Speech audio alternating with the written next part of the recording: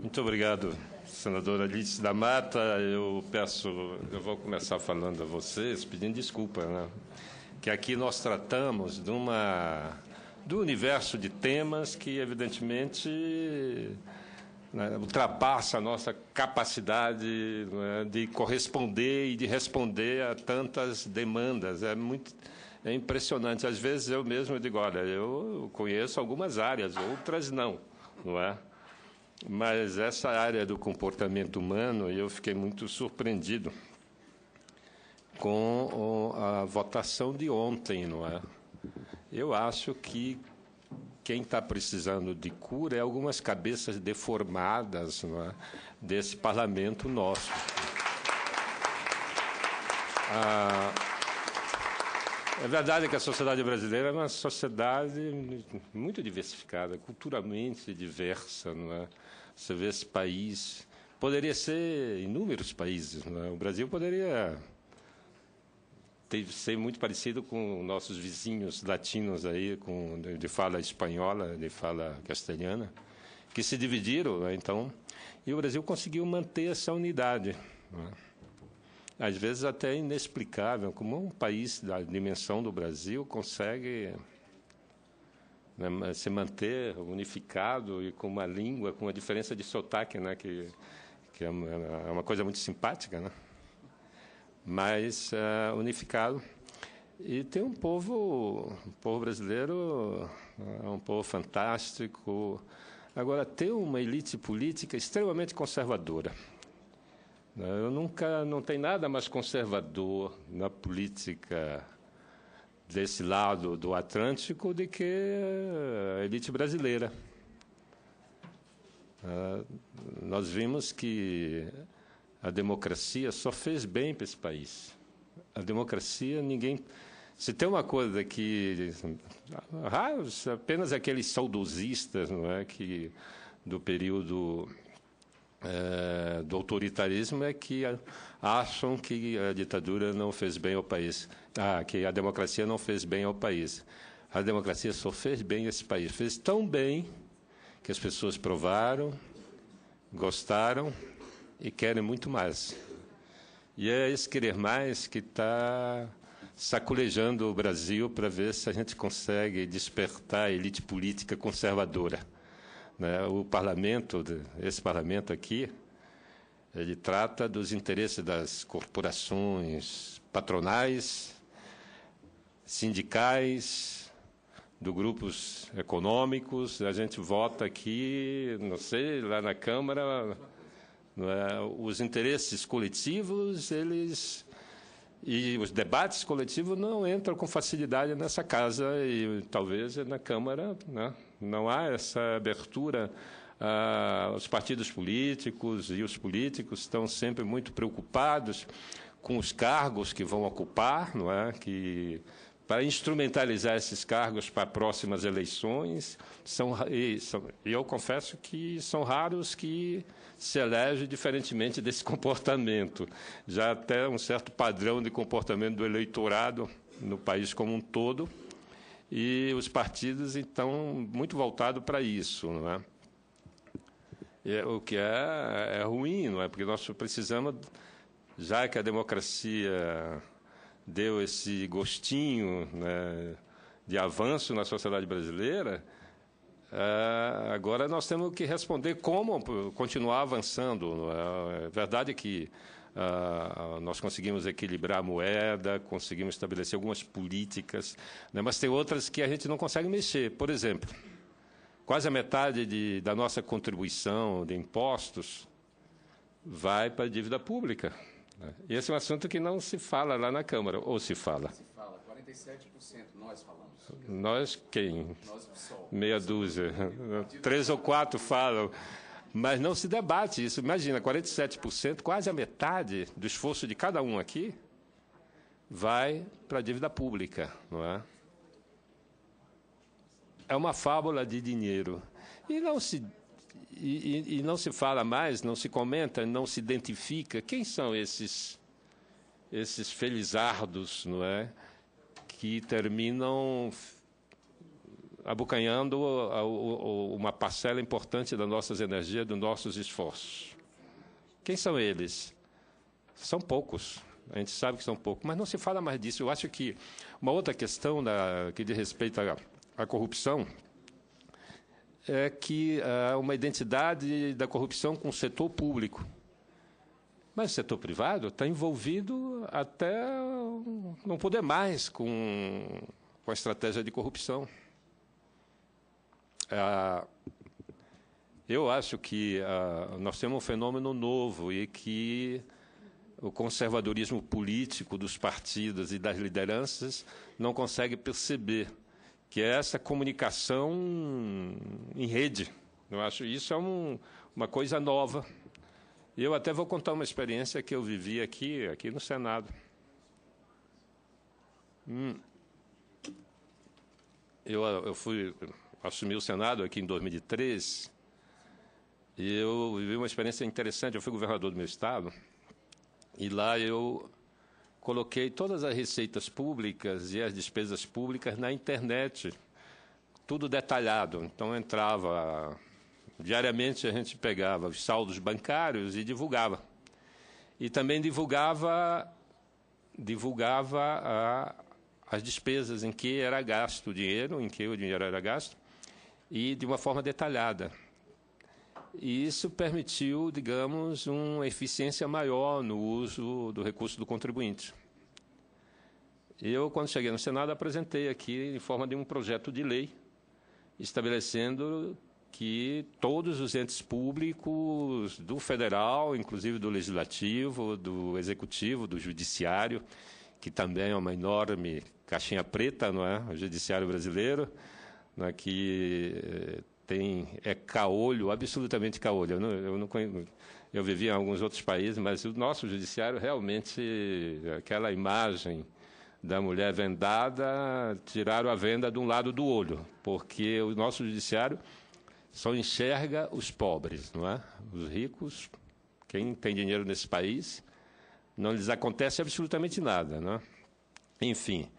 E aí em 2013, nós estávamos meio que engatinhando ainda na, na, nas redes sociais. Na, na, verdade, nem existiam ainda as redes sociais. Estava surgindo uh, algum tipo de comunicação pela internet.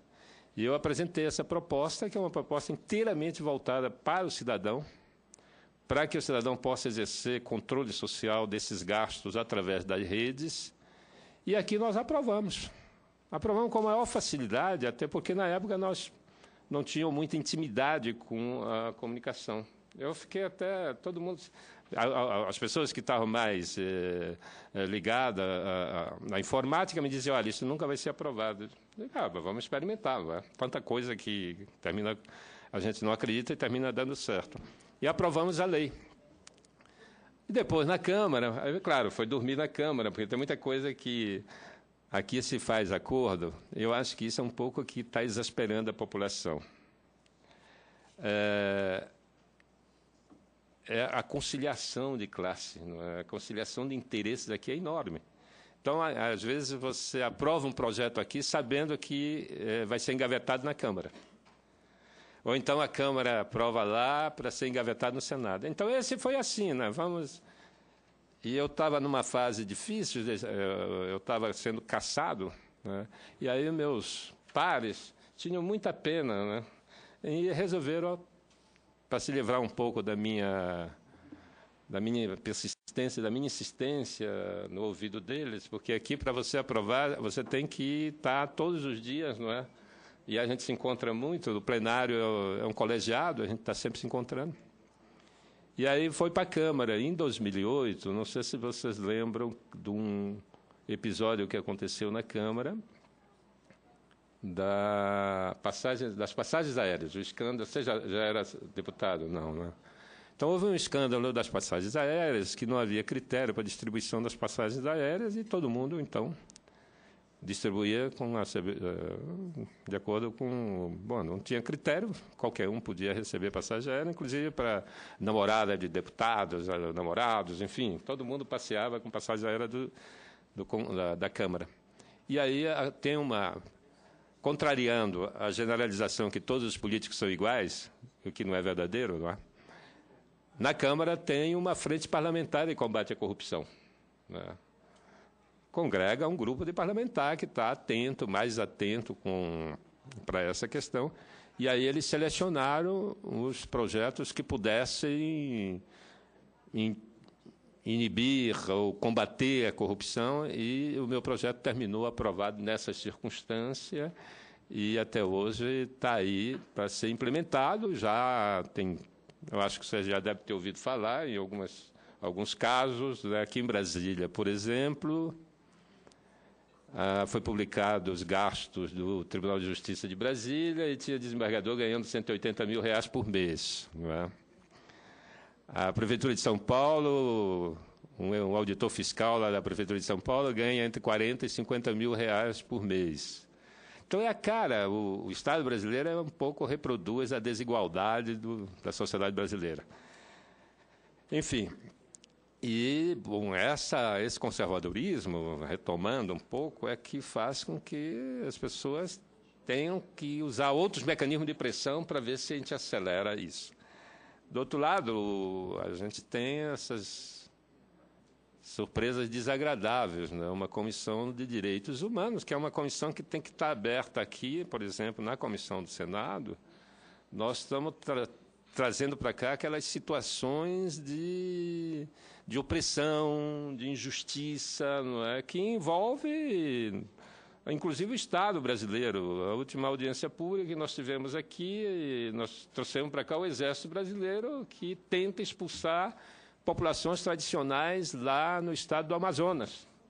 Eles criaram um centro de guerra na selva em áreas de propriedade de propriedade não, de ocupação tradicional de populações ribeirinhas. Então, trouxemos para cá. A mesma coisa a questão indígena. A questão indígena está passando por um retrocesso né, que fazia tempo que a gente não via nada igual. Né? que a, a questão indígena, que, que ela é totalmente deformada, inclusive na mídia, a Constituição brasileira reconheceu o direito, claro, a essas populações que já habitavam o país, eh, habitavam na, na, nessas áreas eh, eh, há muitos e muitos séculos e muitos e muitos anos. No caso do Mato Grosso do Sul, que a gente está acompanhando, que vários índios foram assassinados e que ah, ah, ah, os fazendeiros fizeram uma manifestação a semana passada, com ampla divulgação na mídia, o que eles também têm razão, veja só que coisa louca esse país. Os fazendeiros têm razão, eles receberam um título, um título do Estado, não é um título legal, em cima da terra que pertencia aos índios. E aí há uma certa, um, jogo de, de corpo aí que, para não resolver, de um lado o governo que resolveria tudo isso com, com pouco recurso, né? porque os fazendeiros, o que é que eles querem? Eles estão lá também há muito tempo, há 30, 40 anos, investiram, criaram suas famílias e tal, na terra dos índios, mas eles sabem que a terra é dos índios. Só que o Estado brasileiro legalizou a propriedade pra, no nome deles. Então eles querem, claro, a indenização que o Estado brasileiro indenize para eles poderem sair. Eles não saem, os fazendeiros entram, eh, já a terra foi reconhecida como terra indígena, algumas delas já foi demarcada e homologada, e eles entram na justiça. A justiça, como eu falei, tem lado e mantém eles lá. E aí nós vivemos nesse conflito com assassinatos, com matanças e, e não se resolve. Não é? Enfim, mas eu, tô, eu mudei um pouco o foco, mas é, é, é tudo tão. É, essa comissão trata exatamente dessas questões. Aí a Câmara me monta uma comissão né, que vota coisas tão. não dá mais. A sociedade brasileira. Eu não, não me imagino que, que haja aprovação da sociedade brasileira o que está acontecendo lá na Comissão de Direitos Humanos. Eu não consigo entender uma sociedade plural, é, é, culturalmente diversa como a nossa, não, não, não, não, não entende que se eleja gente tão conservadora não é, e com uma visão tão estreita do direito das pessoas. As pessoas têm o direito às suas vidas e o Estado tem que reconhecer. Né? Houve mudanças profundas. Esse século agora é de profundas mudanças. O século passado, como disse a, a, a senadora Lídice, foi o século da, da, da, da dicotomia, é? da, da, luta entre capital e trabalho. Esse não. O que vai.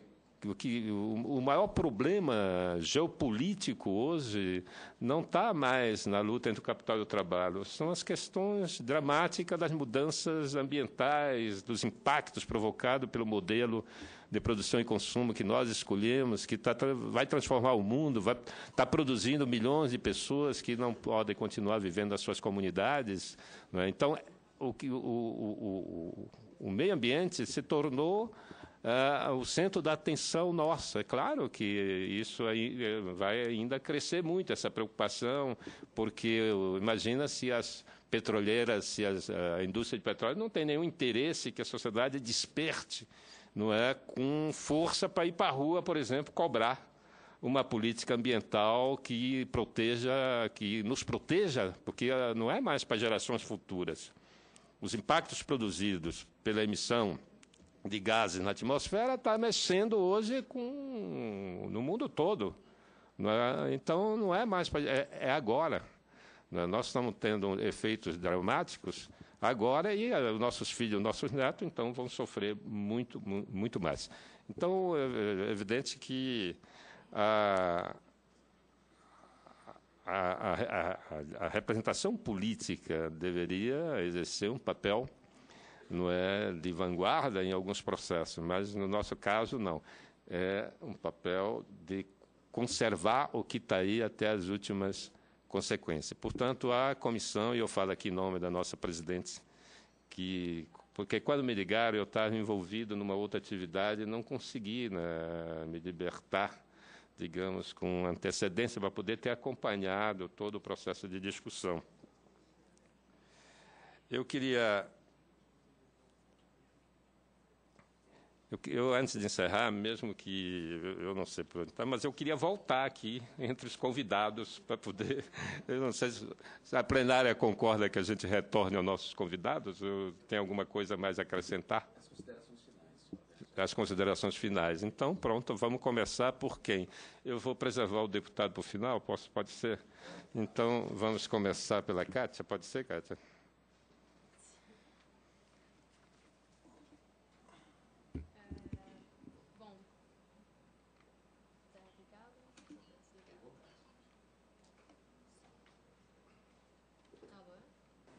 Ah, agora, agora. sim. Tá. Bom, eu queria só é, agradecer e, e queria pedir é, pedir cada vez que a gente tenha é, um corpo cada vez maior, né, e cada vez mais garra e que a gente consiga trazer esse assunto e essa luta para o nosso dia a dia, essa, né, na nossa sociedade e man, manter na pauta essa essa luta por igualdade.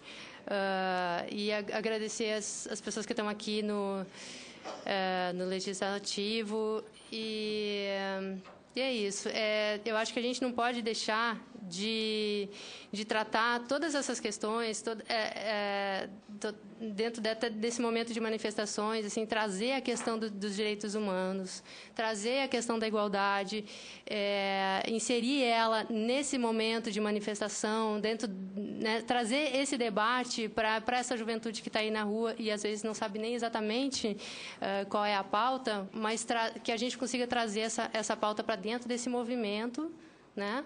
E para a gente não perder o, o a questão de, desses valores. E era isso. Agradecer a, o convite para estar tá aqui. Muito obrigado, Kátia. Então, vamos dando sequência, claro.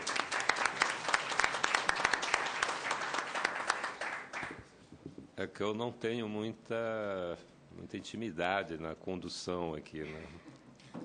Vamos ouvir então a Letícia.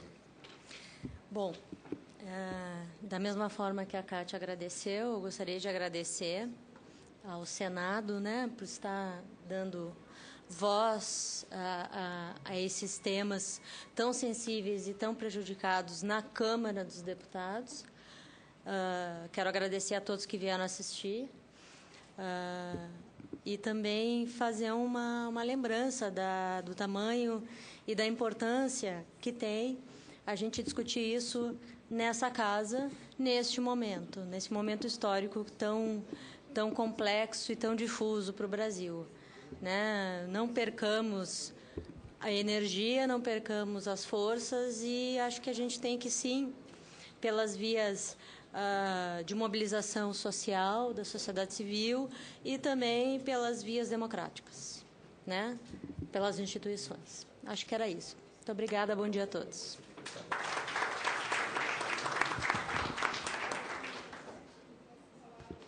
Uh, com a palavra, o Gustavo Carvalho.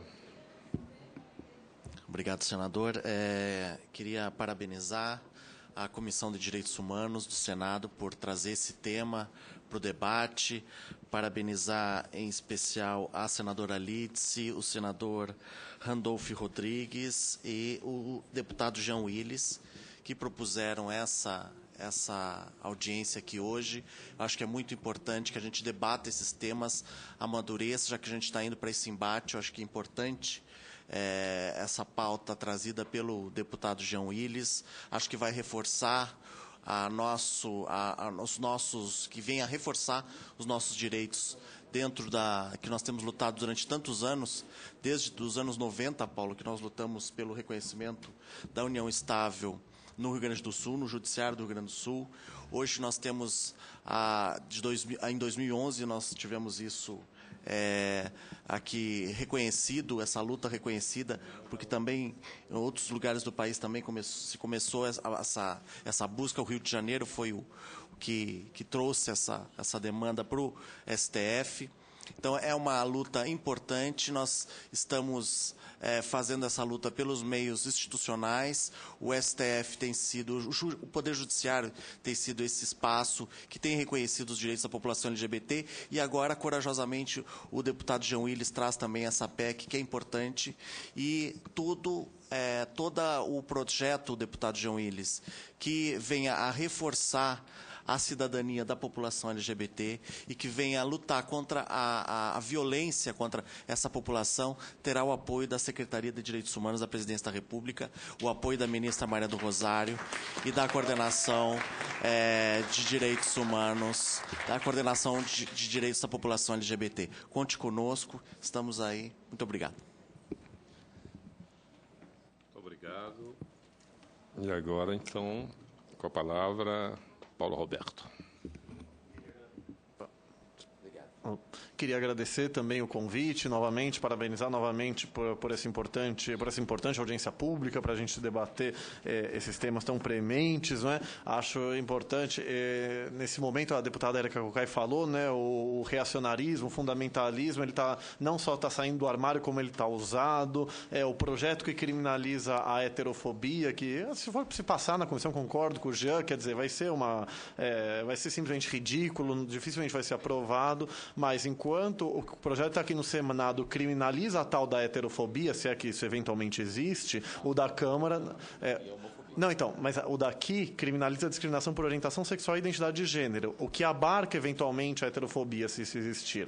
Então, o da, o da Câmara é só da heterofobia. Então, eles estão ousados na questão. Isso é, isso é uma provocação pura e simples, que a gente tem que desconsiderar e simplesmente menosprezar. Então, projetos que visam colocar plebiscitos sobre direitos da população LGBT, você submeter direitos de uma minoria à maioria é inconstitucional. O, mini, o novo ministro supremo, Luiz Roberto Barroso, que é um dos grandes constitucionalistas do Brasil, já gostava dele antes de ser ministro supremo, ele sempre fala: não é porque você tem oito católicos e dois muçulmanos numa sala que o primeiro grupo pode jogar o segundo pela janela. Democracia é muito mais do que ditadura da maioria, não se limita à regra da maioria. Supõe os respeitos dos direitos da minoria.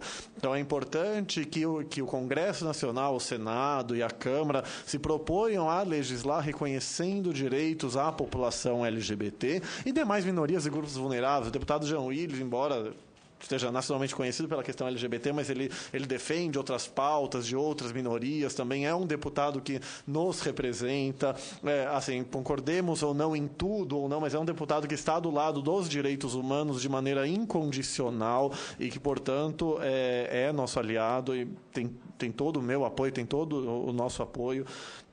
E temos que lutar pela aprovação dos direitos e, e, lutar também pela criminalização da homofobia e da transfobia.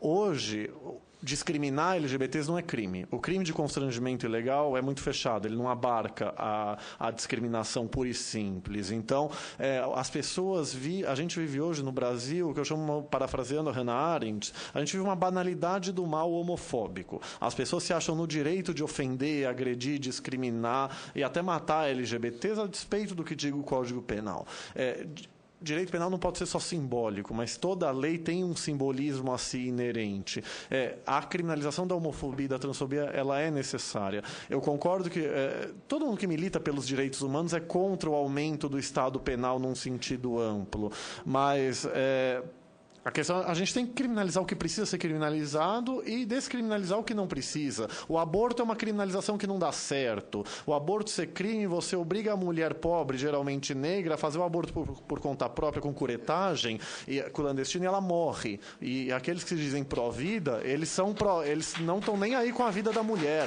Então, o, o aborto é algo que tem que ser descriminalizado com urgência, como felizmente disse o Conselho Federal de Medicina no, até o primeiro trimestre. Então, a homofobia é algo que precisa ser criminalizado de maneira específica e, claro, enfim, de uma maneira em sentido amplo. O senador Paim, é, ele está disposto, parece estar disposto agora a criminalizar a discriminação contra LGBTs da mesma forma que a discriminação por cor, etnia, procedência nacional e religião, que é a pauta do movimento, é aquilo que o movimento deseja. Então, podemos fazer isso isso é, com uma lei que proteja, que puna igualmente todas as opressões, que puna igualmente todas as opressões e segundo a mesma lógica, sem punir uma opressão de uma forma, outra opressão de outra. Mas enfim, é, é são importantíssimos, é, assim, importantíssimas audiências públicas como essa para que o Congresso Nacional assuma o seu papel. Embora o Judiciário esteja garantindo direitos, é, o Congresso Nacional precisa garantir esses direitos na lei. Um país só é total, só é realmente democrático quando ele não impõe a um grupo que ele tenha que contratar advogado, entrar na justiça, depender do entendimento específico de um juiz ou de outro. Então, o judiciário garantir igualdade de direitos não é suficiente para uma democracia plena, para uma igualdade plena. Então, o Congresso Nacional precisa realmente legislar e precisa, como eu disse, se assumir. Seja se assumir como defensor dos direitos humanos de forma universal, então protegendo a população LGBT, ou se assumir homofóbico, se criminalizar a heterofobia, se não aprovar os projetos é, pró-população LGBT, ele vai estar se assumindo homofóbico. Então, aos parlamentares fundamentalistas, eu conclamo, tenham coragem, assumam aquilo que vocês efetivamente defendem. Então, e a questão votemos os projetos que nos são favoráveis. Era isso. Muito obrigado. Muito bem.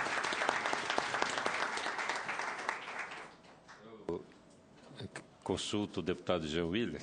Deve passar a palavra para Chico Alencar. Deve. É, mas eu começaria, deputado Chico Alencar, Vossa, Vossa Excelência com a palavra, depois a Lourdinha também me, me pediu a palavra. Né? Então, deputado.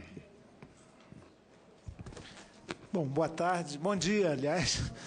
Eu peço desculpas porque eu participo só do final dessa audiência pública, o que me parece, mas fiz questão de vir aqui, já consegui tentar cumprir a agenda em três reuniões, às vezes concomitantes, mas de toda forma eu me preocupo muito com a situação do parlamento.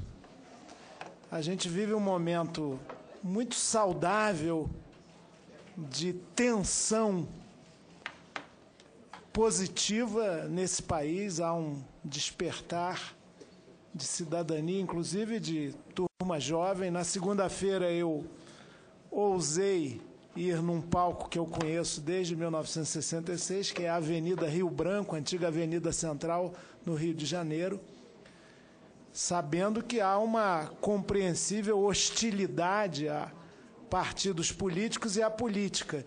E lá eu vi, na multidão de mais de 100 mil pessoas, a sua maioria jovens, cartazes feitos à mão, artesanais, é, contra a homofobia. Então, isso é um alento, porque, de um lado, existe uma onda conservadora que vem de forma enviesada, até emoldurada pelo discurso religioso não libertário, porque eu sou daqueles do tempo da comunidade eclesial de base do Jean, que acho que é um, uma dimensão religiosa emancipatória, né? mas esses não, eles operam.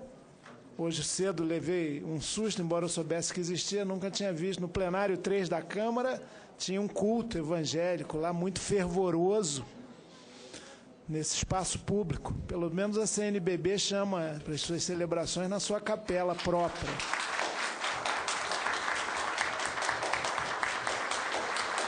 Quem chegou aí? A não ser.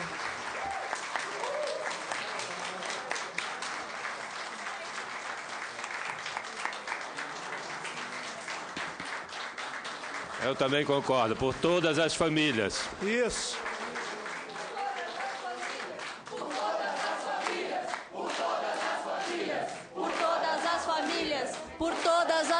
Famílias, por todas as famílias, por todas as famílias, por todas as famílias, por todas as famílias, por todas as famílias. Obrigado, obrigado. Deputado Chico Alencar, vamos, vamos continuar a audiência pública. Deputado Isso. Chico Alencar com a palavra. Como é uma audiência, eu espero que todos aqui também me escutem para lembrar o óbvio. Darcy Ribeiro tem um texto fantástico sobre o óbvio falando da luta dele pelo reconhecimento da dignidade dos povos indígenas, das mulheres, da democracia, da universidade pública. E o óbvio é o seguinte: os que defendem o que conceituam como família tradicional, eu, filho de piauiense e de uma paulista do interior, sou oriundo da família tradicional, é, saibam que o avanço na legislação contemporânea não significa obrigação deles abrirem mão daquilo que acreditam que é o melhor espaço para construir a sua identidade. Então ninguém será obrigado a nada, apenas obrigado democraticamente a reconhecer a diversidade e que qualquer maneira de amor vale a pena.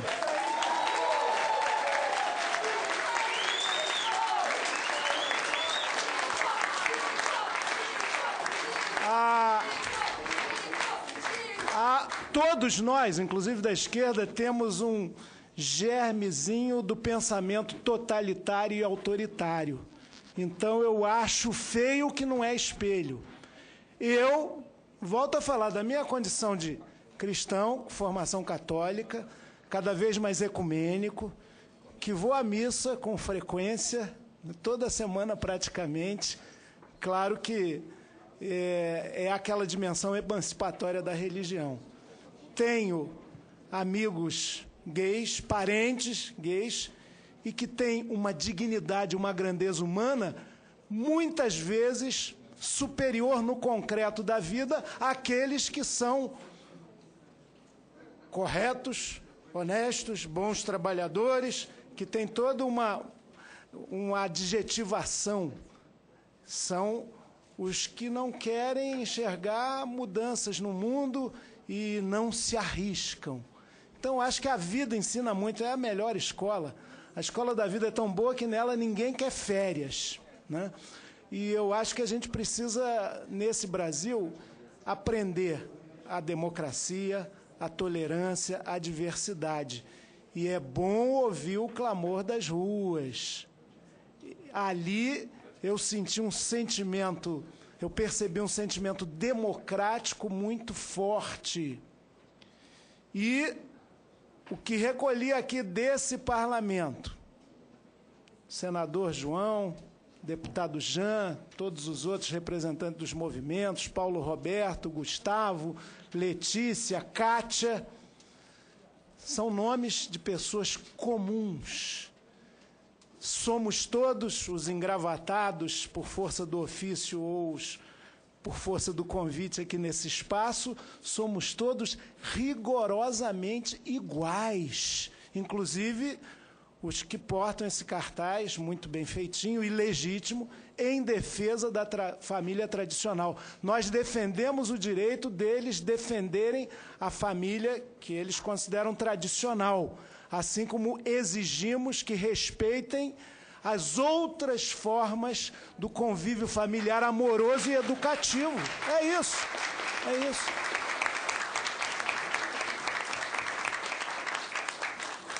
O poder legislativo, em especial a Câmara, espero que não tanto o Senado, respondeu muito mal ao que lhe foi dito bem dentro do ouvido segunda-feira. Segunda-feira eu estava na Cinelândia, no Rio, e vi a turma, a moçada, chegando aqui e contendo os mais exaltados, algumas vezes encapuzados, mas ali é um movimento dos cara limpas, né? Então, é, subiram ali na, no telhado, no, no teto do Congresso Nacional. Senador Capiberibe sabe que o genial arquiteto Niemeyer, comunista, viu? Que fez coisas belas e lindas. Os gays, as lésbicas, todo o movimento GLT às vezes sofre uma discriminação que em outros tempos era destinada aos comunistas até uma homofobia ideológica. Come criancinha, uma, uma como é que chama isso? De pedofilia ideológica. Muito bem. O que aconteceu? Eles subiram na abóbada e a Câmara tem aquela cuia côncava para simbolizar que ela é a representação das demandas do povo. Então tem que ouvir aquilo. O Senado, Conselho dos Anciãos, sabedoria da República, equilíbrio da federação, três por Estado. Já na, os estados na Câmara são com bancadas variáveis, porque nós, em tese, representamos o povo, aqui se representam os estados, tem a cuia convexa para a meditação, a reflexão, a ponderação. Lá não, é côncava para estar aberta às demandas do povo. E olha, se há alguma coisa que eu tenho absoluta convicção depois de seis décadas de vida, é que o nosso povo é diverso e é plural. Ele não é enquadrável num padrão só de costumes, de comportamento, de vivência. Agora, a corrupção, tudo que ofende o interesse público, tudo que agride a democracia, tem que ser extirpado mesmo. Mas ali a, moça, a garotada, os jovens subiram para gritar ali dentro da nossa orelhona, do, da cuia da Câmara, o que eles estavam clamando. Inclusive, repito, entre a miríade de pleitos, não a homofobia, pelo respeito à diversidade, pela democracia. Quero saber como meu representante vota sempre. E olha, ontem e hoje a Câmara jogou uma pedra, praticou um pequeno vandalismo legislativo contra essas multidões. Primeiro, na omissão de direitos humanos, porque perdeu o ser de credibilidade, se aprovou uma coisa absolutamente retrógrada. O próximo passo deve ser revogar a resolução da Organização Mundial de Saúde de 1992, que é, definiu em encontro de cientistas do mundo inteiro que a homoafetividade não é doença. Doença é a homofobia. Hoje. Até se compreende o preconceito. Eu tenho os meus preconceitos, mas a vida educa, ensina, mesmo depois que a gente sai dos bancos escolares. E hoje, acabo de vir da Comissão de Constituição e Justiça que, por falta de quórum, não aprovou o processo inicial do voto aberto no parlamento para cassação de mandatos de parlamentares. Então foram dois gestos legislativos concretos, um por ação, outro por omissão, que confrontam a sociedade. Mas essa audiência pública, e desculpe me alongar, eu acho que ela expressa que não há só um lado, não há só um pensamento dominante ou supostamente hegemônico, e quem clama pela pluralidade, pelo respeito à dignidade humana, é apenas disso que se trata, vai ser vitorioso. Vamos continuar nesse caminho com serenidade, com grandeza. E olha, esse gesto de vocês aplaudirem os que se opõem é um gesto de uma grandeza democrática que a gente espera ver retribuído sempre. Né? Hein? Não, mas. Não, mas, mas vocês não acham que eles têm direito de vir educadamente com os cartazinhos aqui? Aqui o, João Capiberi podia fazer como o presidente da Omissão de Direitos Humanos da Câmara. Quem tem cartaz aqui contra o que a gente pensa, chama a segurança para esvaziar o plenário. E isso não foi feito e não será feito nunca da nossa parte.